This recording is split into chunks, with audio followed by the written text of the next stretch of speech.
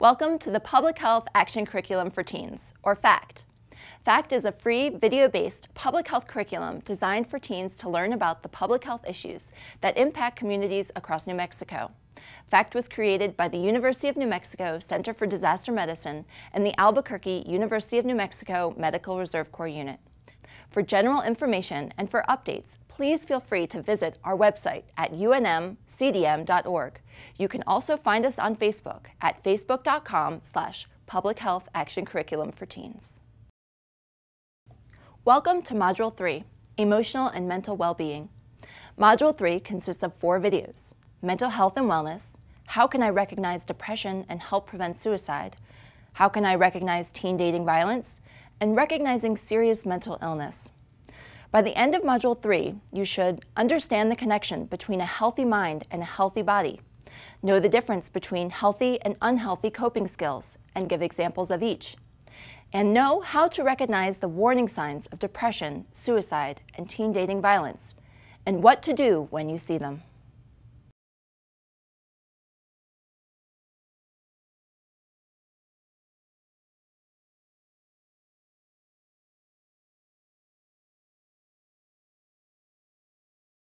Being healthy is more than not having a disease or illness. Being healthy is about health of the mind and body. It is about our overall well-being. Being in good mental health is just as important as our physical health. Being in good mental health is when a person realizes his or his own abilities, is able to cope with the normal stresses of life, and is able to function well at home, in school, at work, and in their community. Mental well-being can be described in three ways, emotional, psychological, and social well-being. Emotional well-being includes happiness, peacefulness, and life satisfaction. Psychological well-being is having self-acceptance, spirituality, control of one's environment, and positive relationships. And lastly, social well-being is having a sense of community, belonging, social acceptance, and personal self-worth. Mental wellness tells us that we perceive our lives as going well even through everyday ups and downs. Mental well-being is something that we can all strive for. By learning how to deal with stress and emotions, we can work toward achieving good mental health and preventing unhealthy or harmful behaviors. Mental well-being requires effort just as physical wellness does. Developing Good coping skills can help us deal with emotional and physical stressors. Coping skills are like tools in a toolbox that help us maintain mental wellness. There are good coping skills and bad ones. Next, we will discuss good coping skills. An increase in physical activity is beneficial to the mind just as it is to the body. Something as simple as 10 minute walk can help clear the mind while burning calories. Listen to music or talk with a friend while walking or exercising can make it more enjoyable. Dancing, running, and other activities will work too, as long as it's enjoyable. Take time for yourself. Taking time for yourself away from others is a way to relax and clear your mind from the stress of life. This could include reading a book, going for a walk, composing music, drawing, or writing down your thoughts in a journal. Nutrition. You may not think there is a link between the food you put in your body and the way you feel, but there certainly is. Eating healthier foods will give you more energy and help you feel better by giving your body the nutrition it needs to function. Eat the rainbow of fruits and vegetables, if you can, along with lean meats and healthy grains. Limit your sugary treats, but don't feel guilty about allowing yourself to splurge every now and then. Guilt can make it harder to improve healthy eating and can make you feel worse about yourself. Remember, it is about eating an overall healthy, balanced diet. Wellness activities. You may find it helpful to participate in wellness activities such as yoga, meditation, deep breathing, or other relaxation techniques. If there are no classes available, rent a book from the library or look online. There are many free resources available out there. Laugh. Laughter is a great stress reliever. Watch a funny movie or read a funny book to give your mind a break from your daily mental work. Volunteer. Volunteering to help others is a great way to improve your own mental wellness. Volunteering can reduce your stress, help you understand how other people struggle and succeed, increase your gratitude about your own life, and get you involved in your community. Look for organized volunteer opportunities at school or at church, or ask an adult to help you find a way to help others. Sleep more and sleep better. By getting good, restful sleep, you will have the energy to take on a new day. Some tips for getting a restful night's sleep include setting a sleep schedule for yourself and sticking to it, stopping electronic activities like TV, texting, and games an hour or so before bed. Doing some more physical activity during the day to sleep better at night, and staying away from caffeine and sugary foods before bed. Spend time with friends and family in a personal way, not just on the phone or computer. Take time to reconnect with people, to laugh, tell stories, offer help, cry and hug, or just to catch up on life. Going for a walk, playing basketball, or cooking a meal together are some good connecting activities. Spend time with people who make you feel good and healthy. And lastly, challenge yourself and set goals. Set a physical activity goal for yourself.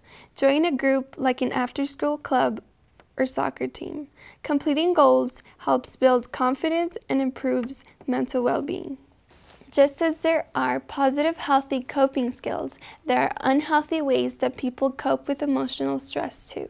These include misusing drugs and alcohol, committing violence, hurting themselves, excessive exercising, or dangerous eating behaviors, and taking unnecessary physical risks.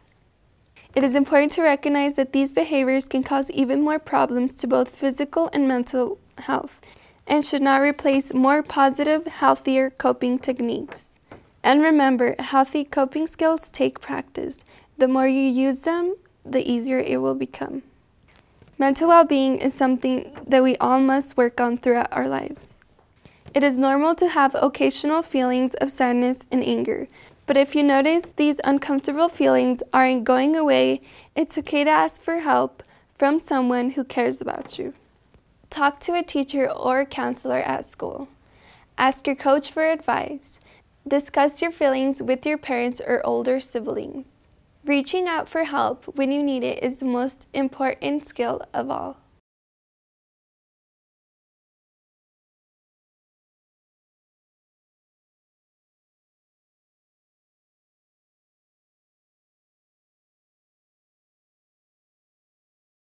Sometimes feelings of sadness are caused by something more serious than just occasional trouble coping with everyday stresses. Having severe sadness that lasts for a long time could be a sign that someone is suffering from depression. Depression includes severe sad moods, decreased interest in activities, serious weight gain or weight loss, constant tiredness, overwhelming feelings of guilt, difficulty concentrating, withdrawal from the outside world, and most seriously, repeated thoughts of death. Depression affects one in every four adult Americans. Each year, more than 36,000 Americans take their own lives, and hundreds of thousands receive treatment for self inflicted wounds and injuries. Depression is a public health concern because, if left untreated, it can become a chronic disease. Depression can also make other existing chronic diseases worse. Depression is costly and debilitating to those who suffer from it. The first thing to know about depression is that it is a, it's a chemical imbalance in your brain. And sometimes when we see that among our loved ones or our friends, we think, oh, what's wrong with them? You know, why can't they just pull themselves up and get motivated. So um, I want to acknowledge that, that, that there's a lot that goes on that causes depression, and part of it is chemical. There are signs that an individual may be depressed, including feelings of hopelessness or pessimism, feelings of guilt, worthlessness, or helplessness, irritability or restlessness, loss of interest in activities or hobbies, fatigue and decreased energy difficulty concentrating, remembering details, and making decisions, insomnia, early morning wakefulness or excessive sleeping, overeating or loss of appetite, persistent aches or pains, headaches, cramps, or digestive problems that do not get better even with treatment, or thoughts of suicide or suicide attempts.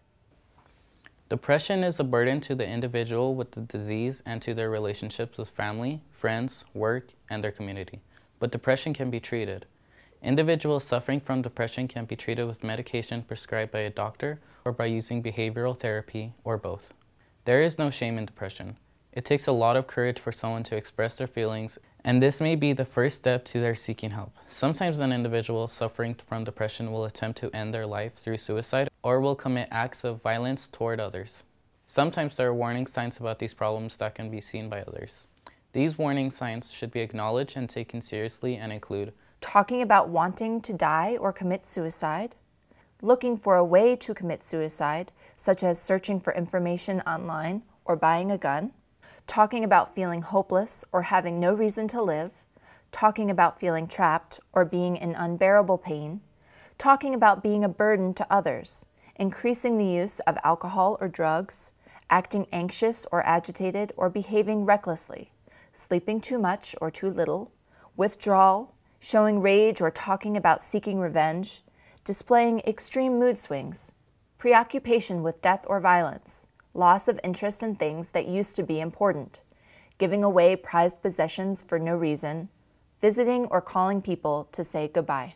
If someone you know shows these warning signs, talk to an adult about it. Depression and suicidal thoughts should be handled by a qualified professional. How do you act as a motivator for somebody impacted by depression? How do you get them up, moving, exercising, making good decisions so that they can improve their mood? Um, I think first having compassion that they're going through something really serious that, you know, their brain's being hijacked by chemi- you know by natural chemicals that's causing them to be sad. So their brain's been hijacked right? So that's not really their fault. Um, so having that compassion i think really goes a long way because people begin to trust you because they know that you care. If possible encourage the person who is showing these signs to call the toll-free 24-hour hotline of the national suicide prevention lifeline. If someone you know actually harms themselves physically or with drugs or could harm someone else call 911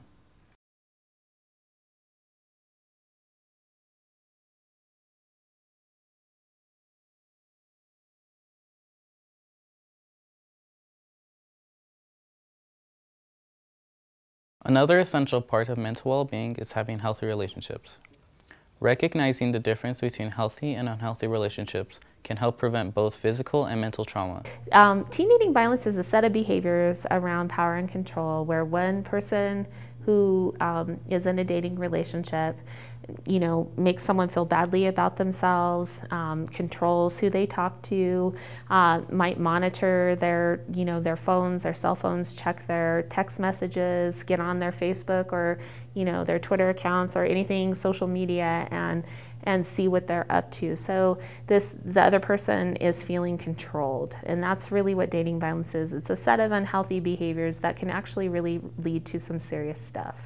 Some relationships that are not emotionally healthy can turn abusive or violent. Teen dating violence includes physical, sexual, or psychological harm by a current or former dating or relationship partner. Abuse or violence can be committed by males or females and can occur in all types of relationships.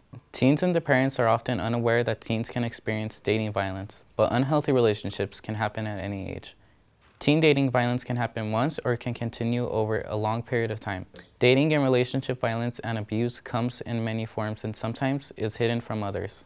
Examples of violence or abuse in a relationship include physical abuse, such as kicking, slapping, shoving, punching, biting, burning, or other harmful physical acts, forcing a partner to engage in a sexual act through threats, physical force, drugs and alcohol, or other abusive methods using words, gestures, and weapons to threaten to cause injury, death, or other physical harm. Psychological or emotional violence, such as shaming, bullying, stalking, controlling, or harassing. This can be done in person or electronically through text messages and social media. Unfortunately, some teens think that committing or accepting these abusive behaviors are a normal part of relationships. Some teens grow up in homes with emotionally, physically, or verbally abusive parents or family members. This behavior is also seen on the news and in television and movies, making it seem acceptable. Some teens may misinterpret violence and anger as an expression of intense love or affection, no matter what the reason is. Violence and abuse are not acceptable behaviors in any relationship. Teen dating relationships and all relationships should be nonviolent, equal, respectful, trusting, and comfortable. There should also be open communication about feelings. Teens who are the victims of unhealthy, violent dating relationships can suffer from negative health effects throughout their lives. Victims are more likely to do poorly in school, suffer from depression and anxiety, abuse drugs and alcohol, exhibit antisocial behaviors, become suicidal, and be victimized during college or adulthood. The most effective tools in preventing teen dating violence are the support of friends and the actions of those outside the relationship. You may know someone who is in an unhealthy, dangerous relationship whose partner does things like controls their activities, their outfits, and who they talk to, criticizes their appearance, and says things to make them feel bad, pushes unwanted sexual activities, physically threatens them like raising a hand as if they are going to hit, isolates them by saying they should quit activities and stop hanging out with their friends, causes actual physical or sexual harm. It is important to realize that even if your friend does not complain about the relationship, the behavior is still not okay. Here are some things you can do to help. Tell your friend you care about them and they don't deserve to be hurt. Discourage your friend from fighting back or seeking revenge, which can make the situation worse. Talk to a trusted adult about the situation. The most important thing to remember is that getting help for a victim of dating abuse and violence is important, but you should never get physically involved, confront the abuser, or use violence to protect your friend.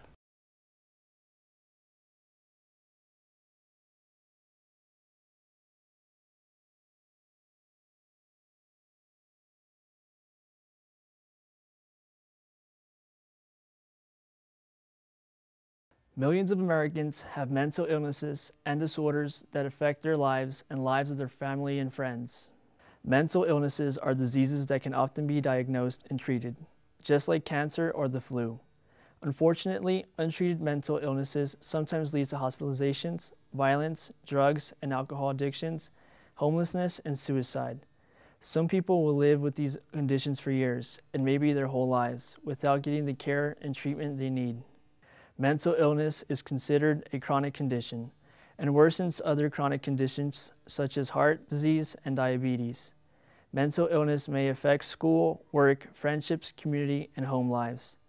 Mental illness can be treated by working with mental health professionals and using prescription medication. There should be no stigma or shame associated with having a mental illness. Mental illness is a serious condition, but with proper treatment can be managed and most people can live normal, healthy lives as long as they continue to manage their illness properly. Only a qualified healthcare provider can diagnose mental illness, but everyone should understand what mental illness is. There are lots of different mental illnesses, but some are more common. Anxiety disorders are the most common mental illness. About 1 in 10 people have one. There are different types of anxiety disorders, like obsessive compulsive disorder, social anxiety disorder, phobias, and post-traumatic stress syndrome. Some people can get anxiety or panic attacks. Symptoms of a panic or anxiety attack can include sweating, headache, nausea, tunnel vision, and a racing heart. Bipolar disorder causes extreme mood swings that are out of proportion to the things that are going on in life. Bipolar disorder is not the same as being occasionally moody or energetic. Doctors call the moods either highs or lows, and they can be dangerous if not treated.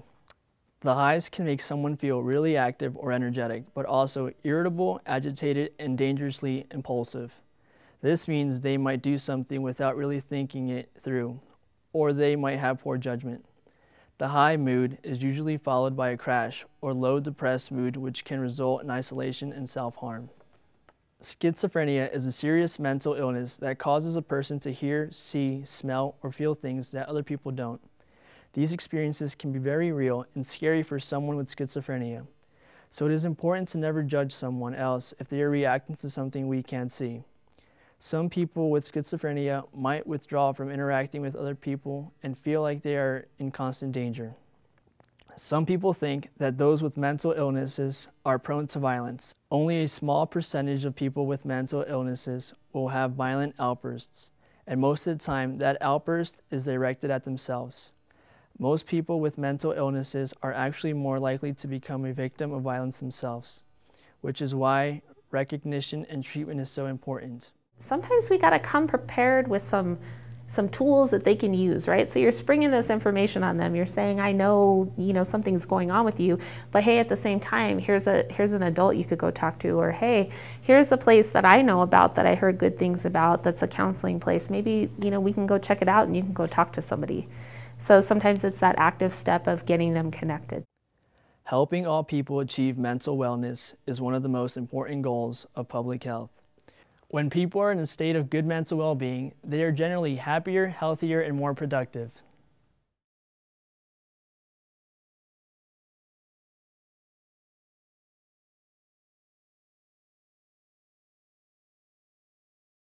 Congratulations on completing Module 3. The action step for Module 3 is to create a personal inventory of your healthy and unhealthy coping skills. Take some quiet, personal time to yourself to think this one through.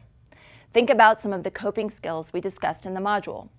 Are you engaging in the healthy coping skills, the unhealthy coping skills, or a mixture of both? Write them down in a list, then take a look at your list and create a goal for yourself that will help you improve your mental well-being.